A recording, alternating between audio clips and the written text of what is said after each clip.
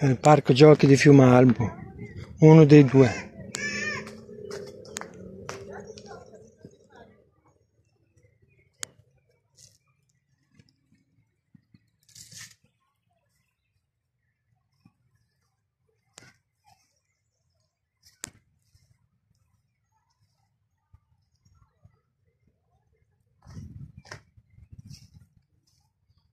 L'ex casa dei carabinieri adibita a bar.